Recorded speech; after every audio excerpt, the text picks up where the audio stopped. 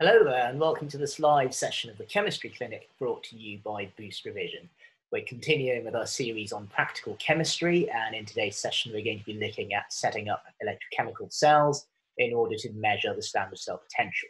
Now, in terms of the practical detail in how to actually do such an experiment, um, there isn't a great deal of difficulty in setting up such a cell. I think the difficulty comes with an understanding or gaining an understanding of the theory underpinning electrochemical cells in terms of redox chemistry and in terms of equilibria. So I will spend quite a bit of time focusing on this aspect of, um, of, of, of, the chemistry. Okay, so as usual, I will go through um, theory and I will then go through some uh, practice questions towards the end of the session. As usual, if there are any questions from uh, the audience, please use the chat um, function in uh, Zoom or use the chat function in YouTube to uh, post questions to me, and I will be pausing at various intervals to um, answer these questions for you. Before we start, I will share my uh, tablet screen with you and then we will get going. Okay, so we're looking at electrochemical cells. Of course, this is relevant to um, year 13 and anyone doing an A-level course uh, is in the second year. Okay, so um, to start with, we want to really understand the theory underpinning electrochemistry. And I think a good way um, to approach this is to consider the question we've got on our screen, um, which says, what happens when you place a piece of metal such as magnesium or copper into a beaker of water? Okay, so um, metal atoms on the surface of the metal um, can lose electrons and in so doing form ions. So in the in the in the case on the left hand side, we've got um, magnesium metal, which is this metal strip here, and it has lost, um, or some magnesium atoms have lost electrons um, to form Mg2 plus ions, which dissolve in the water, and as a result, you've got electrons building up on the surface of the metal.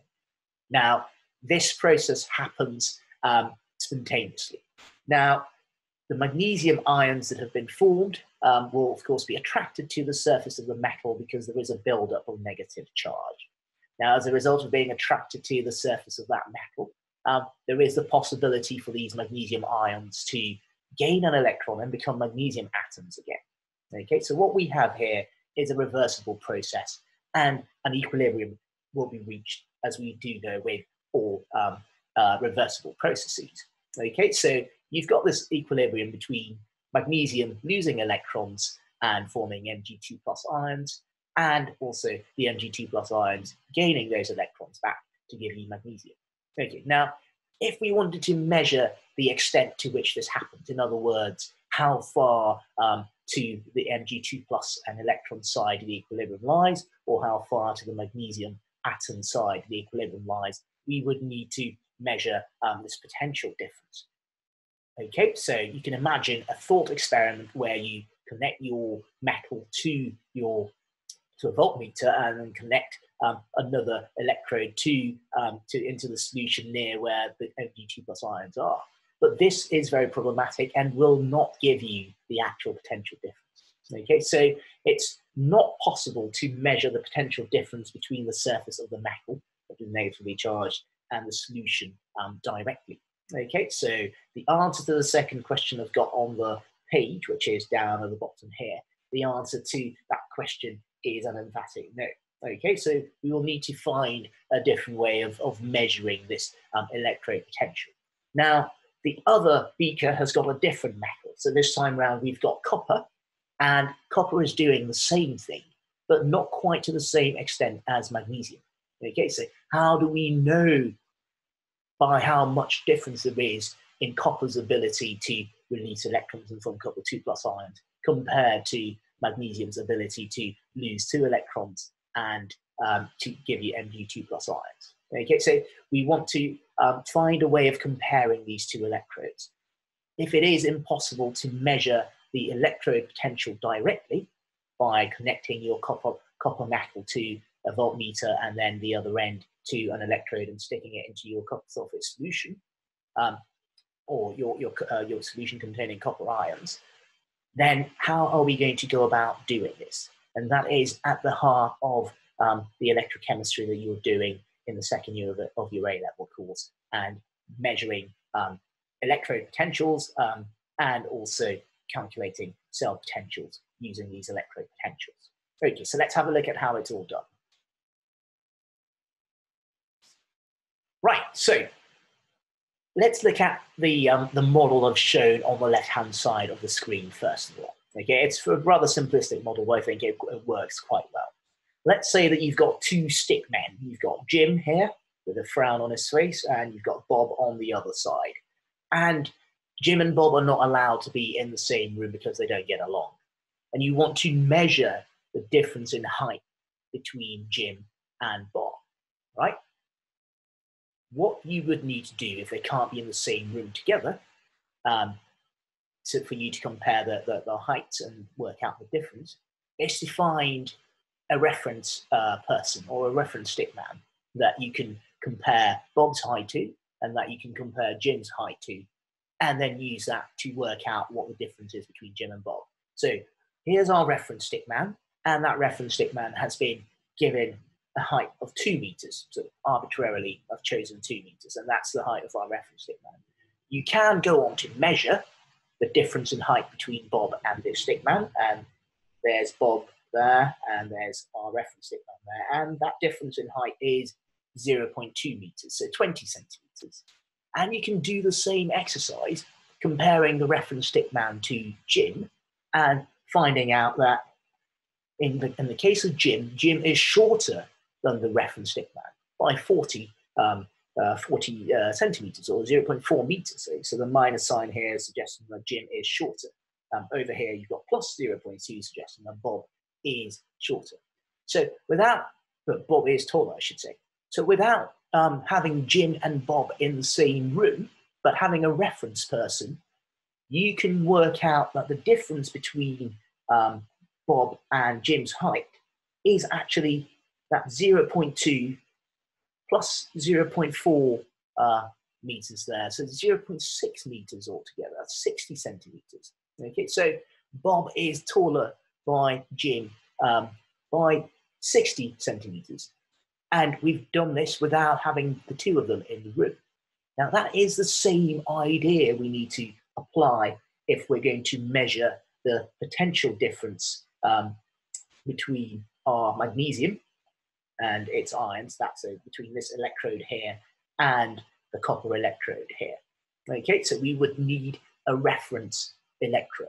Okay, so just as we've got a reference stick man here, we would need to find a standard whose electrode uh, potential is arbitrarily set and to which all other electrodes are going to be um, measured against. Okay, so our reference stick man is our reference electrode. And this electrode here is the standard hydrogen electrode. So we need a standard, and hydrogen has been chosen to be our reference electrode. Now, the standard hydrogen electrode is fairly uh, simple to illustrate. You've got hydrogen gas, which is being um, passed into this chamber. And within that chamber, you've got a piece of platinum wire, which is a conductor, obviously.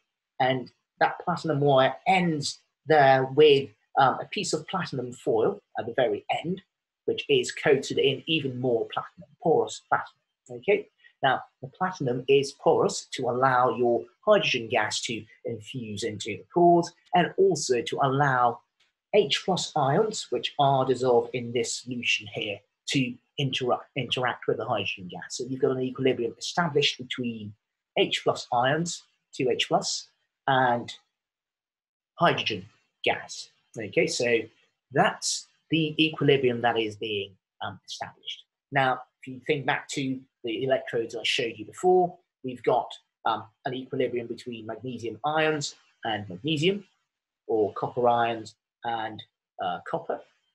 In this standard hydrogen electrode, we've got an equilibrium established between H plus ions and hydrogen gas. Okay, so the other thing you'll notice is the way these um, half equations, these redox half equations are written. Okay, if we go back to the previous page, you'll see that the um, half equation is written as a reduction. In other words, the electrons are always on the left-hand side. Now, this is convention, and it is important that you always stick to this convention if you're going to um, work sort of effortlessly through the calculations that accompany these um, electrochemistry um, or electrochemical cell uh, uh, sort of uh, questions. So always have the electrons on the left-hand side because it's the convention and it also makes your understanding of um, the, uh, the, the, the of, of, of, changes, for, for instance, to um, concentrations and how that affects the equilibrium. It makes your explanation a lot easier um, to, to come up with. Okay, so this is our reference electrode again, your standard hydrogen electrode. Now, why is it um, referred to, or why is the, that, that word standard in the name of the hydrogen electrode? Well, that's because um, if you're measuring other, um, if you're co comparing uh, the uh, or measuring the uh, electrode um, uh, potential um, of any other electrode against the standard hydrogen electrode, you do need to do it under standard conditions. Okay, so you've got these being 298 Kelvin, which is um, 25 degrees Celsius, that's what chemists take to be room temperature, and atmospheric pressure, which is 100 kilopascals. Okay, so that's very important. The third condition for this to satisfy, for this to satisfy um, uh, sort of, uh, the, the, conditions needed for measuring the standard um, electrode potential of, of, another electrode is that the, the concentration of your um, H plus ions in solution must be one mole per decimeter cubed. Okay, so these are the standard conditions. 298 Kelvin, 100 kilopascals, and you also need one mole per decimeter cubed of um, your um, H plus ions for the standard hydrogen electrode. Whatever you're hooking up to your standard hydrogen electrode, and I've got a diagram down um, at the bottom of the, the bottom right hand corner of the page, um, here's what you would need to do to measure the electrode potential for magnesium. So you've got your standard hydrogen electrode on the left-hand side, and that is always the case. So the standard electrode against which you're measuring electrode potentials of other electrodes must always be written on the left-hand side. Okay, so let's make a note of that. Um, standard hydrogen electrode is by convention.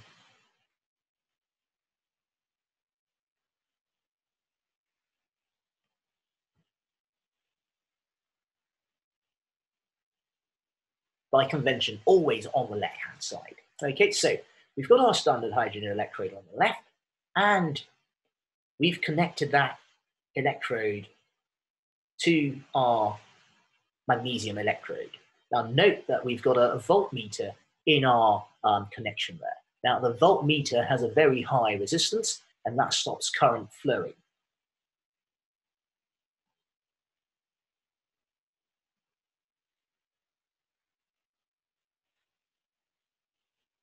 Okay, so we've got a high resistance and so there's no current flowing. And what we're measuring therefore is the difference um, eh, eh, or, or the, the, force that would be pushing electrons round one way or another. Okay, so therefore measuring potential difference.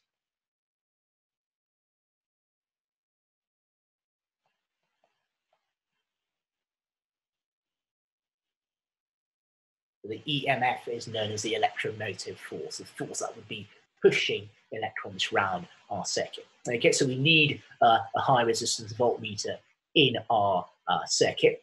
And then, of course, the um, your conducting uh, wire is connected via a crocodile clip to your piece of magnesium, and that piece of magnesium is in a solution um, containing magnesium ions, and concentration has to be one mole per decimeter cubed of uh, magnesium ions. Okay, so that is very important if we're going to be measuring the standard um, uh, cell uh, potential or the potential difference between our standard hydrogen electrode and our magnesium electrode.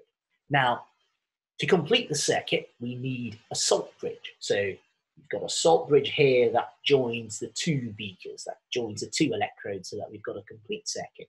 Now the salt bridge allows current to flow um, through the circuit.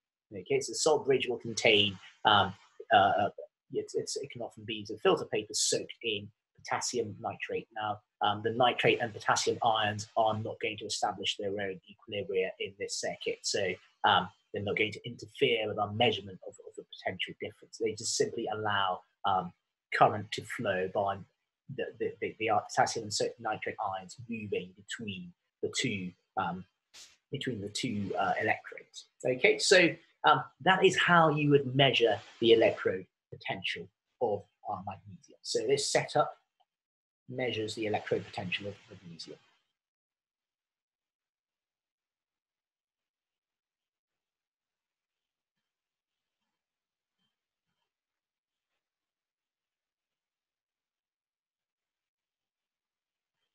Okay, and the way we obtain this value of minus 2.37 uh, volts is by connecting your magnesium electrode to the standard hydrogen electrode. Okay, so in this instance, we've got a negative value for the cell, um, uh, the cell potential, or the electrode potential in this case of our magnesium. Now that is telling us that the magnesium is better at losing electrons to form magnesium ions. And so there's more electrons building up on the surface of our magnesium than there are um, on the other side with our hydrogen electrode. As a result of this, the electrons are going to flow from the magnesium to the hydrogen electrode. Now, only if we remove the voltmeter, of course. Okay, so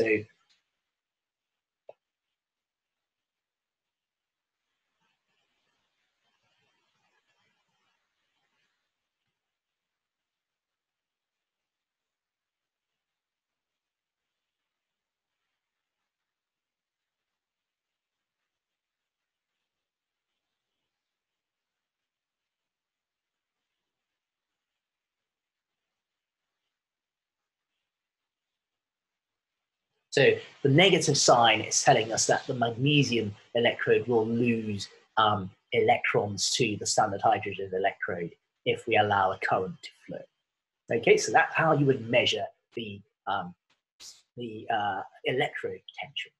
Okay, so um, if you repeat this experiment um, but change the magnesium electrode to a different electrode, say the copper electrode, or any other um, uh, redox half equation or half cell, um, you could then come up with a table of electrode potentials. And once you've got a table of electrode potentials, you can then compare all these electrodes to each other and begin to say which would lose electrons uh, more easily. Okay, so in other words, if we look at our reference um, stick man again, and we look at lots of different people, so not just Bob and Jim, but uh, let's say everyone else in, um, in, in a population of, of, of stickmen, and every one of those stickmen is compared to our reference stickman, what you will get would be a series of um, height differences all measured re- relative to the stickman. And once you've got that information, you can get rid of your stickman and just compare these relative differences and that allows you to work out um, in your population which uh, stick men uh, are tallest and which are shortest. Okay, so that's something we'll be looking at very shortly when we look at tables of potential um, electrode potentials. Okay, so um, moving on to our our electrodes. So we've seen a couple of examples um, so far. So we've seen um, an example of a metal um, in equilibrium with its metal ion. So the example would be the magnesium and magnesium ions um, in solution.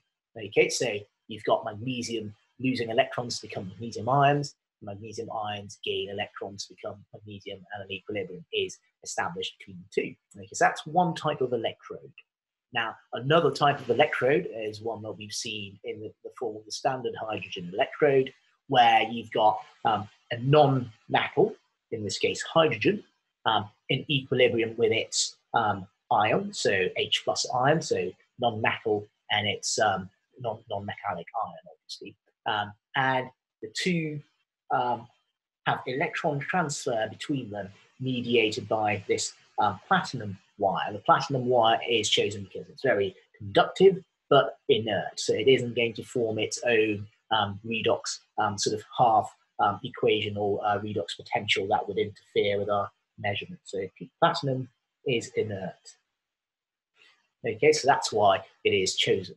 So you can have um, a non-metal um, in equilibrium with its ion, and you can also have um, metal ions in different oxidation states in equilibrium with each other. So if we take Fe2 plus um, and Fe3 plus, you can have them in equilibrium with each other. And again, the transfer of electrons uh, backwards and forwards between Fe2 plus and Fe3 plus and going back the other way will have to pass through um, your platinum um, electrode here. Okay, so again, that would be mediated by um, an, an, inert platinum electrode, which can pass electrons between um, the different species. Now, if we connect any um, two electrodes together um, in the way that we saw with our standard hydrogen electrode and our magnesium electrode, what we have is a cell. Okay, so if we look at this uh, diagram here, you've got a cell um, formed between a magnesium electrode on the left-hand side and a copper electrode on the right-hand side. Okay, so um, we're told here, I will highlight this, a cell is formed, so the cell is essentially formed when two electrodes are connected um, together to form a complete circuit. Okay, so as you can see in our diagram, you've got our two electrodes connected via um, this conducting uh, uh, conducting wire. Um, you do have a voltmeter here um, to measure the potential difference, and you've got a salt bridge here to complete the circuit. Okay, in the absence of the voltmeter, um, electrons will flow from the more negative electrode to the more positive electrode. So um, again, worth noting. So electrons will flow from the more negative electrode to the more positive electrode. Okay, so um, that is true for all cells that you build.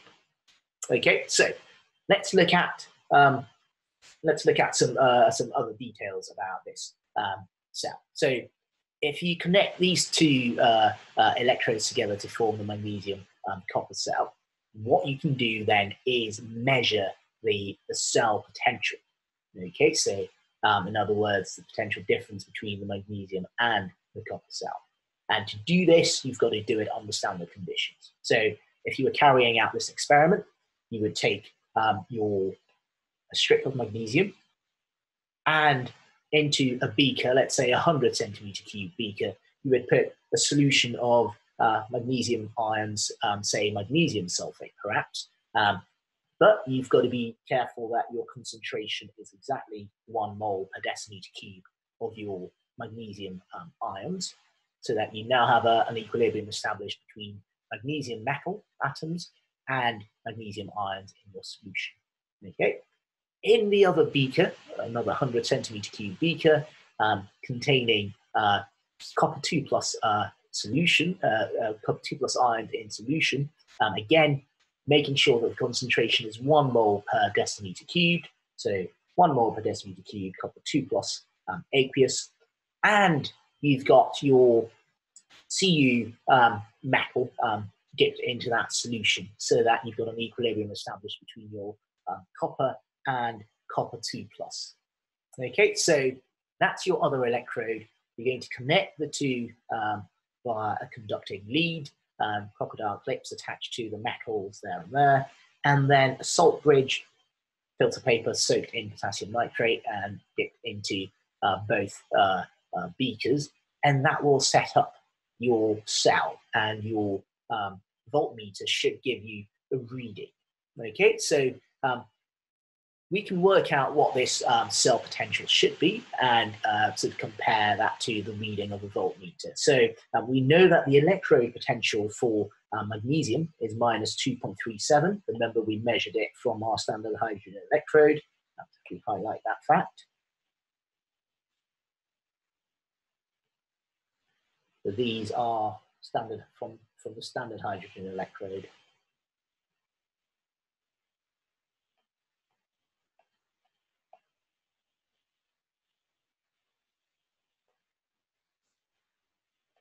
Okay, so we know what the electrode potentials are. Now, because we know that the electrons will always flow from um, the more negative to uh, the, the, the, less negative or more positive electrode, uh, we can predict in what direction um, the, the, the um, electrons will flow if we remove our voltmeter. Okay, so in the circuit we've got um, shown on the screen, if we get rid of the voltmeter, the electrons will go from the magnesium electrode, which is our negative electrode, to the copper electrode. So that would be the direction of flow of our um, of our um, electrons. And we can calculate um, uh, we can calculate what the cell potential is, and I'll show you how to do, do this very shortly. But another thing to point out in drawing your circuit diagram and insert, in, in setting up your circuit to measure the um, cell uh, potential is that you need to always have the negative electrode on the left hand side. Again, this is convention, which if you follow will allow you to um, get your calculations right um, 100% of the time. Okay, so always have the more negative electrode on the left hand side. The only exception is if you've got your um, electrode connected to a standard electrode, whether the standard hydrogen electrode or another standard. And there are a number of other standards you can. At A level, we only consider the standard hydrogen electrode. Um, so the only exception is um, where you've got the standard hydrogen electrode connected, which should be on the left-hand side. Okay, so always follow that convention. So how do we calculate the cell potential for the magnesium copper cell? So here's what we're going to do then. So it's always the right-hand electrode, so the more positive electrode, minus the left-hand electrode. Okay, so left-hand electrode is the magnesium electrode. That's going to be subtracted from the right-hand electrode, of course, the copper electrode. Okay, so the standard cell potential, um, so again, on standard conditions, 298 Kelvin, 100 kilopascals, one mole per decimeter cubed um, for your ions in solution. Um, and right-hand electrode, so the positive electrode, or more positive electrode minus the left-hand electrode. And that should give you the cell potential um, shown here. So we've got um, our E of cell being equal to 2.71 volts in this case. So we've measured the standard cell potential. Okay, so we've got magnesium sending electrons around to the copper electrode because the magnesium electrode is more negative. Okay. And down at the bottom of the page is another way of looking at things. Okay, so if we um, make things a little bit smaller, go. So we've got here um, uh, so the, the um, standard hydrogen electrode as our reference. Okay, so I'm going to highlight that there. So there's your standard hydrogen electrode. And then we've got to um, compare so in this case, in our, in our cell, we've got the magnesium um, electrode, Mg and Mg2+, plus, and our copper electrode, which is Cu and Cu2+. plus, And we've connected these two electrodes together. Now, we know the um, um, electrode uh, potential for the magnesium is minus 2.37. So this is minus 2.37 when measured against your standard hydrogen electrode there. Okay, minus 2.37 and we know the electrode potential for the copper electrode is plus 0.34. So that's plus 0.34 in the other direction. Okay, now we know that because the magnesium electrode is the more negative electrode, therefore electrons are going to flow from our magnesium electrode to our copper electrode. if we want to measure the or calculate the cell potential um, for our magnesium copper cell, then it is this gap here between the two. Okay, so again, right hand electrode, 0.34 volts, minus the left hand electrode, which is minus 2.37, so minus and minus becomes plus, and therefore we have 2.71 volts. Okay, so that's another um, sort of uh, schematic for explaining um, what's going on. Okay, so if we then look at um, the table of um, electrode potentials, you can see that you've got quite a comprehensive list here. And really start from the bottom right, um, looking at of some of the most negative electrode potentials you'll have, um, and some of the most um, negative electrodes you can find.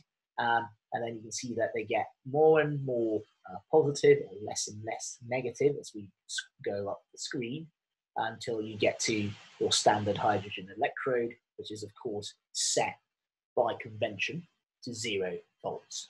Okay, so that's our standard. We've chosen that to be our standard, and so that is zero by definition. And then um, we've got electrodes that are more positive than the standard hydrogen electrode. So again, going from the bottom up, we've got so, um, a silver chloride um, um, electrode. You've got sort of iodide, iodine electrodes. These are all getting increasingly more positive as you go as you go up that um, table, not the screen. Okay, so at the very top, you've got the most positive electrodes here. Okay, and so you can read these uh, very positive electrodes as ones that do not, um, that are very uh, sort of, uh, in other words, the equilibrium lies very much to um, the right hand side rather than the left hand side. So the fluoride ion is going to struggle to release electrons. Okay, so um, very sort of oxidizing, if, if, if, you put it that way, very reluctant to um, release electrons. Whereas down here, in the bottom right of our table, with a very negative electrode potential, you've got lithium being very good at losing electrons to form lithium ions and um, electrons building up on the surface of your lithium. So that's um, how to interpret these um, tables of uh, electrode potential. Now, I've got a couple of questions that we can work through. Um, it says to calculate the cell potential for the following. Um, you've got a zinc electrode and a copper electrode. Um, so what we need to do is find zinc in our table and the zinc electrode is down there. You can say that's got minus 0.76. And we need to find our copper electrode, copper, copper 2 plus, which is down there somewhere. So that is plus 0.34. And so there we go. Okay. And then um, going down to um, to then uh, decide um, how to um, calculate the cell potential, remember you would always have the um, you'd have your uh, more negative electrode on the left hand side and your more positive electrode on the right hand side when you set it up, and that it's always right hand minus left hand. So we annotate our so this would be the more negative electrode. So that would be our left hand side. and our more positive electrode down there, be our right hand side.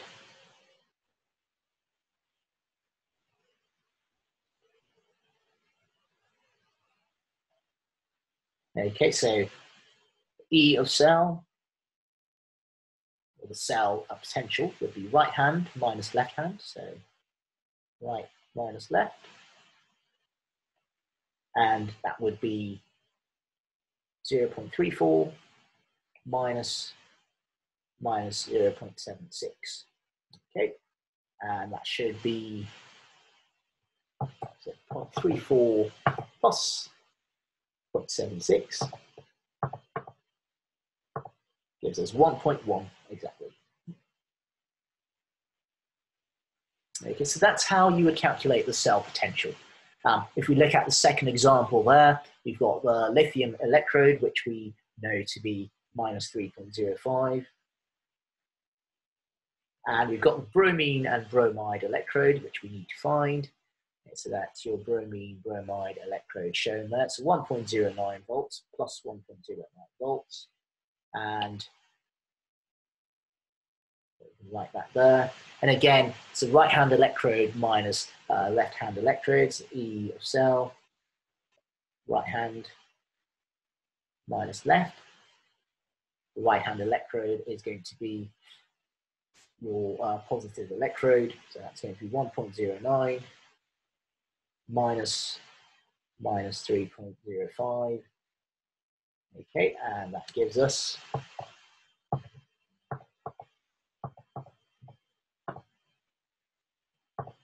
Four point one four volts.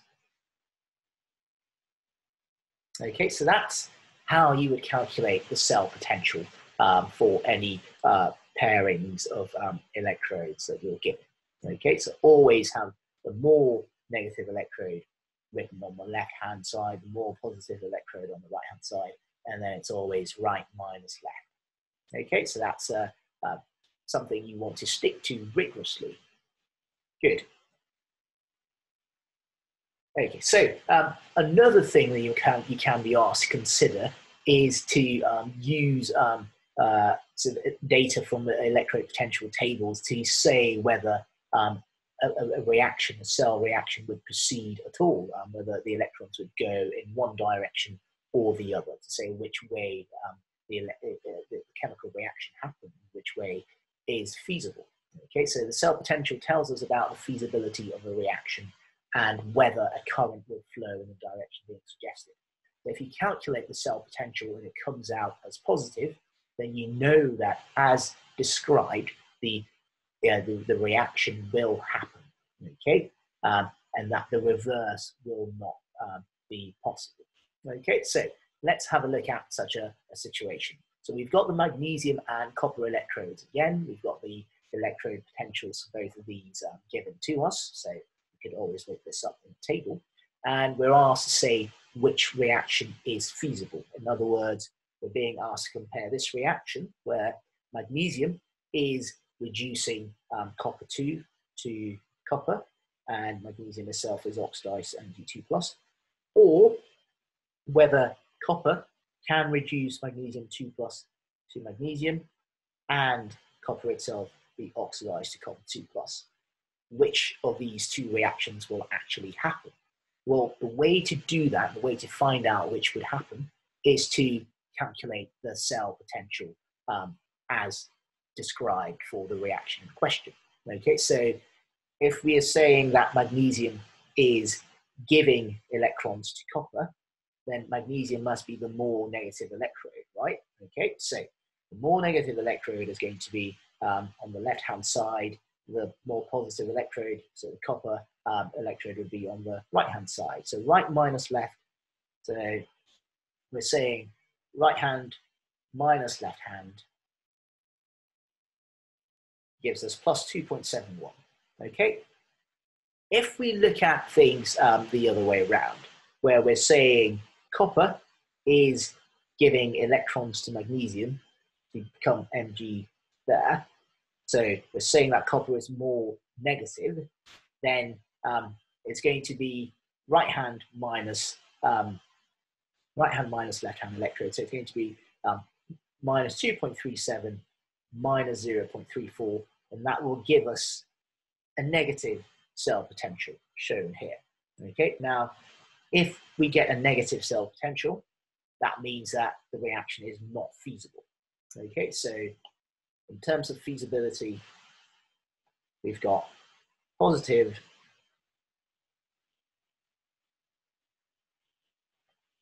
Therefore, Mg will reduce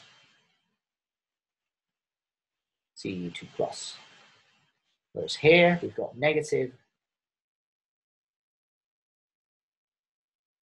Therefore, Cu cannot reduce Mg2 plus. And this tallies with our observations from GCSE, where we know that magnesium will displace um, copper from a solution of copper 2 plus or copper sulfate uh, solution, but copper will not displace magnesium from a solution of magnesium ions. Okay, so that is the sort of electrochemical basis for that observation we made way back at GCSE. Okay, so that's something important to, to note there. So the sign of our cell potential tells us if our reaction is going to be possible. So if it's positive, um, in the case of magnesium plus copper 2 plus, then that will happen. If it's negative, copper and magnesium 2 plus, it won't happen. Okay, so um, another way um, of describing what we've just shown is that um, if you have a, an ammeter here, we can measure the current. Um, what we are saying is that the electrons will flow um, in this direction from magnesium to um, our copper. Okay, so um, our magnesium will react with copper 2 plus ions um, to form Mg, uh, Mg2 plus and Cu. Okay, so that's um, that's the that's the the, the, the so an, an, application of um, calculating um, cell potential. Now we're going to finish our theoretical work by looking at the hydrogen fuel cell and um, again, uh, so very briefly, so that we can have a go at some uh, actual exam question. The hydrogen fuel cell is uh, sort of, incredibly important um, as far as securing uh, a carbon um, sort of free um, sort of future when it comes to um, energy. And it combines the um, hydrogen electrode with the uh, oxygen electrode to produce water as, the um, only byproduct and electricity as a result. Okay, so you've got your hydrogen electrode shown here. Um, so you've got um, an equilibrium between H plus ions and um, hydrogen gas. Okay, and on the other side, we've got so the more positive electrode, you've got water in equilibrium with H plus ions and oxygen.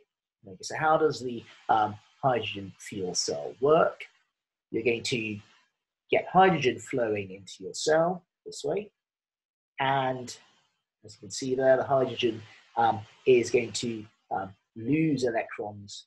We know that it's the more negative electrode, and so the electro electrons are going to flow from our hydrogen electrode. And in, in your hydrogen losing electrons, you're going to form H plus ions. These H plus ions are going to diffuse across to our cathode, the electrons are going to pass out of our, um, our cell um, via an external um, sort of conducting uh, sort of wire over to uh, the cathode where they arrive, and over on that side, they're, they're picked up by oxygen and H plus um, here to give us water, which is our byproduct. Okay, so in, in, in a sense, we're combining these two um, these two electrodes here to give us um, a, a, means of uh, producing electrical energy and, um, and, and, and with a, a clean uh, byproduct in water. So let's, look, let's quickly combine the two uh, uh, half equations to see what the overall equation is. So you've got our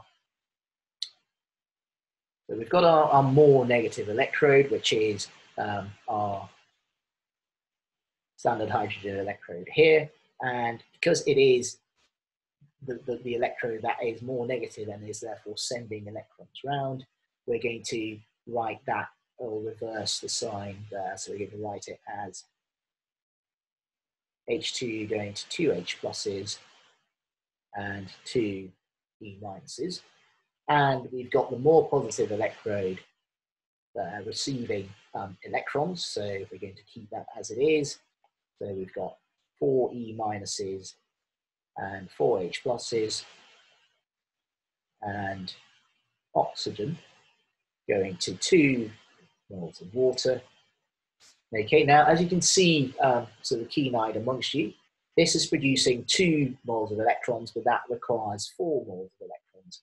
And so you would need to multiply that by two. Okay, so overall, you're going to have 2 moles of H2. And that is going to react with um, is going to react with oxygen to produce 2 moles of H2O. Okay, now you may wonder why I've left out the electrons and um, H pluses. Well, if we look at that two times two electrons there, that gives us four electrons on the right-hand side. So we would have plus four E minus there and plus four E minus here. Of course, the two cancel out, so um, there's no point writing them. And then you've got four H pluses here. And if you've got two times two H pluses, you're going to have four H pluses here as well. And four H pluses there. So the two, again, cancel out. So what this cell does is carry out a reaction between hydrogen and oxygen, okay, harnesses the electrical energy being, uh, uh, being produced as a result of a current flowing from the anode, so the hydrogen electrode, to the cathode, uh, the oxygen electrode. And we can use the energy um, from these electrons to um, run um, sort of various components. In this case, uh, you could have a, a, light bulb, say, or you could even sort of um, have a, a, motor of some description. Okay, so a very important technology uh, for producing clean um, energy. Okay, so let's uh, finish things off by looking at um, by looking at an actual uh, uh practice exam question. Okay, so let's uh, let's look at uh, question 21 from uh, June 2018 A-level um, paper one. And this question uh, is, of course, entirely on electrochemistry. It starts off with um, a bit of the fundamentals of atomic structure and electronic configuration, um, being asked to say um, what the um, electronic configuration for um, nickel is. The nickel has an atomic number of 28, so how do we um, fill the shells to have 28 electrons for a nickel atom? You've got 1s2, and then you've got 2s2, 2p6, and then you need to move on to the 3 um, energy level, so 3s2, 3p6. Okay, so we're so far up to 18, got another 10 to go. You can write the 4s in first, 4s2, and then you can go to 3d8 or 3d8 4S2, uh, it doesn't matter which way round. Okay, so that's um, nickel. And if we're looking at the, uh, the ion, which has lost two electrons, we're going to have 2s2, 2p6, 3s2, 3p6, and you're going to lose electrons from the 4s, um, both of the 4s electrons, so you're going to have 3d8 as our uh, nickel ion because that's our electronic configuration for nickel 2 plus. In part B, we're asked to um, set up um, a standard cell uh, to measure the, the, cell potential for the reaction between nickel and iodine. So we're looking at nickel and iodine, we're looking at this electrode here, and we're looking at the iodine iodide electrode there. So that's the more negative electrode, that's the more positive electrode. So can draw the nickel um, electrode on the left hand side. So you have a beaker and you would have your solid nickel and you would have in your beaker, you'd have nickel 2 plus ions, aqueous, and that of course would be one mole per decimeter cubed. And you would connect your nickel electrode via a voltmeter to the um, your iodine iodide electrode. Now the iodine is dissolved in water as well as the iodide um. So we've got platinum electrode here. Label it as such. It's platinum. And in our solution, we've got aqueous iodine and aqueous iodide. And again, one mole per decimeter cubed, one mole per decimeter cubed. And of course, we need a salt bridge. Label that. Is, of course, aqueous potassium nitrate. Okay, and standard conditions. Um, going to be 298 Kelvin and 100 kilopascals. And that should allow us to measure the um, uh, standard cell uh, potential um, for this particular reaction between nickel, solid nickel, and um, aqueous iodine to give us um, aqueous nickel 2 plus and um, uh, aqueous iodide ions. Okay, so that's a, a pretty straightforward uh, application of what we've just been um, learning to, to that exam question. Okay, let's look at the next question then. Uh, it says predict the standard cell potential of this cell. Okay, so standard cell potential, as we said, is um, so the electrode potential of the right hand um,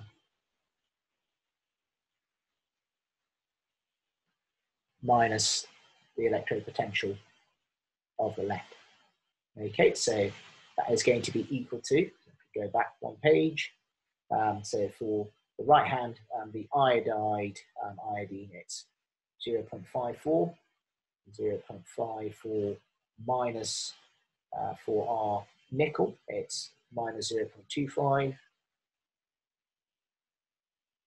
Okay, so 0.54 uh, plus 0.25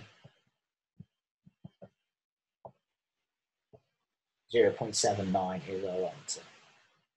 Okay, so that's, again, relatively straightforward. And then we're asked to use the, the information in table 21.1 to help you answer both parts of this question.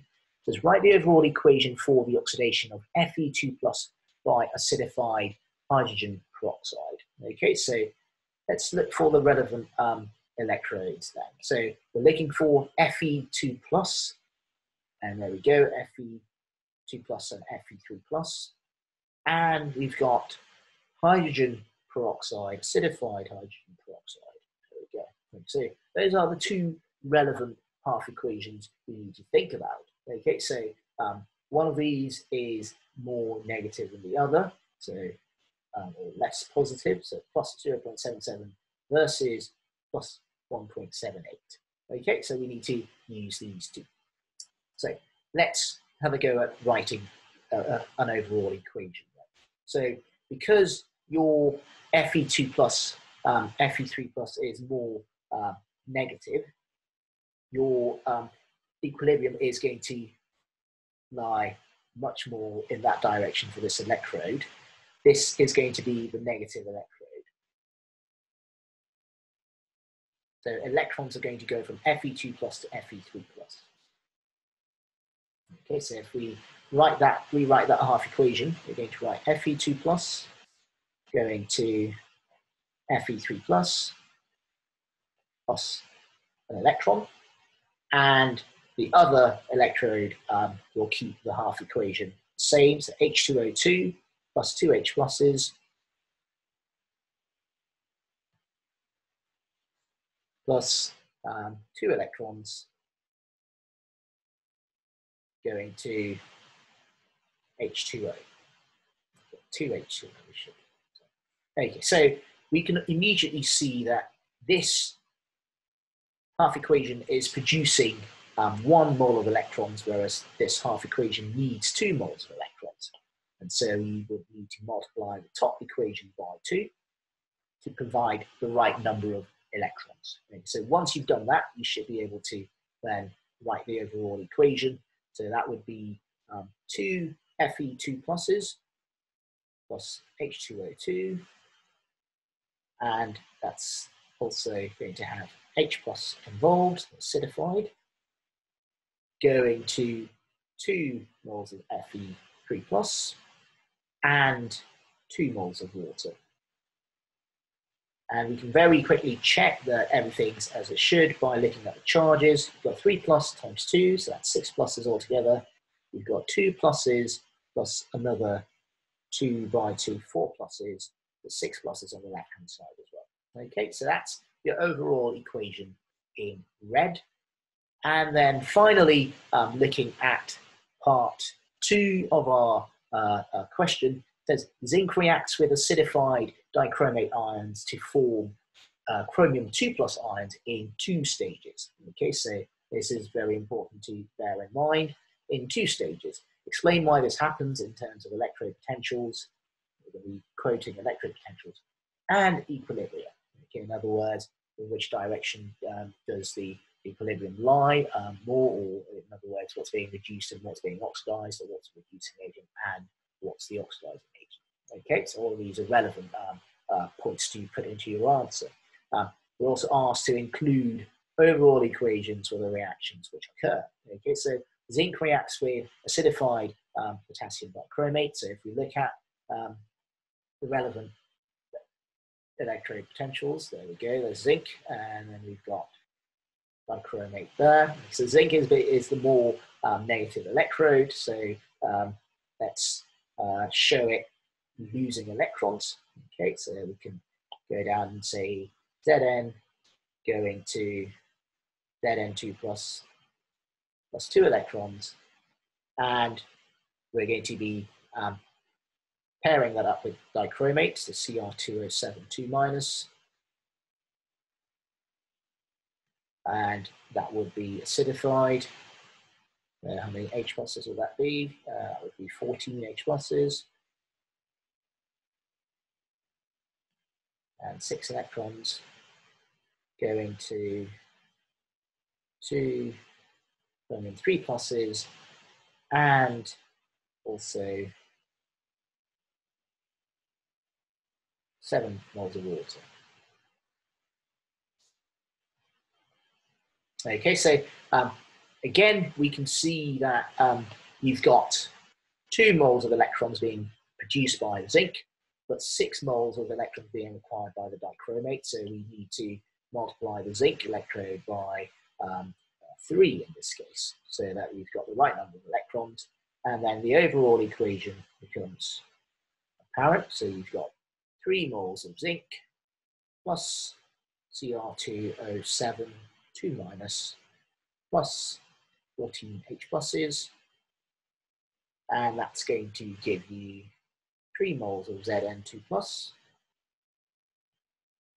And you're also going to form 2 moles of Cr3.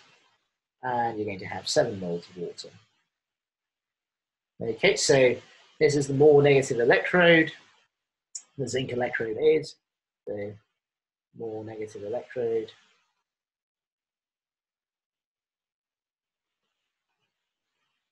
Therefore, we'll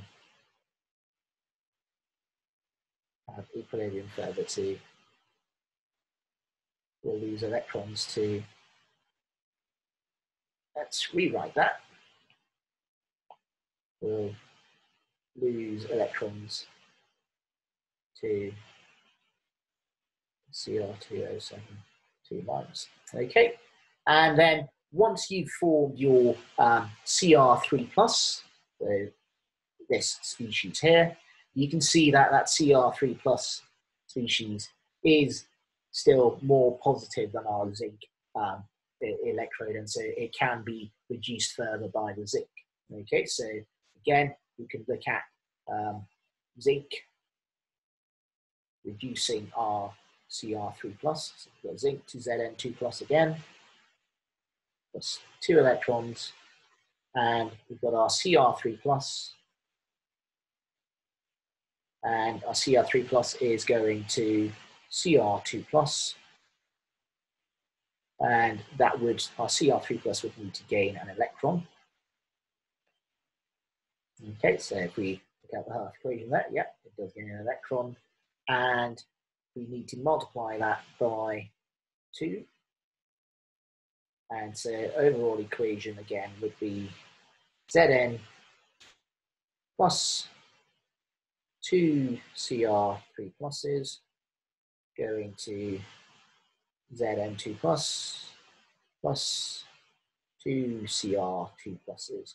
Okay, so we can again double check that our charges are balanced. We've got 2 plus and take the four plus there. So six pluses, we've got six pluses on this side. So that's the, uh, second um, equation. And again, um, zinc is more positive, um, and so you've got the, so zinc is a more negative, I should say, more negative electrode. So we'll reduce CR3 plus. Okay, so Um, in terms of um, all the different uh, points we need to cover, um, we've looked at two stages. So we've looked at the initial reduction of our Cr2O7 by zinc, and then the second stage, um, the reduction of our Cr3 plus by zinc again. Okay, so um, two stages, and we formed our Cr2 plus. Um, explain why this happens in terms of electrode potentials. We have said that that is more the more negative electrode, that is the more negative electrode. Um, and in terms of equilibrium, in other words, saying what will reduce what. So the equilibrium lies very much to the Zn2 plus 2e minus side, um, same in, in, this case as well. So we've covered all the bases to get four marks. Um, now that's been quite a, a, a whirlwind tour of electrochemistry and ideally you want to sit down and tackle some more practice questions to um, implement the conventions that, that we've discussed. So writing the negative electrode down on the left hand side, um, unless it is uh, connected to the standard hydrogen electrode, or we're sticking to right hand electrode minus the left hand electrode, um, always ensures that you get the correct um, cell potential calculation. Um, explaining things in, in, things in terms of equilibria. So a more negative electrode means that the equilibrium for that half equation will lie very much to um, the side where the electrons are. In other words, it's going to be releasing electrons to the less um, negative electrode. So these are all things you need to put into practice and suggest that you do go away and tackle some more practice questions. It's been a pleasure to um, go through this topic with you and I look forward to uh, seeing you again um, next uh, lesson. Thank you very much.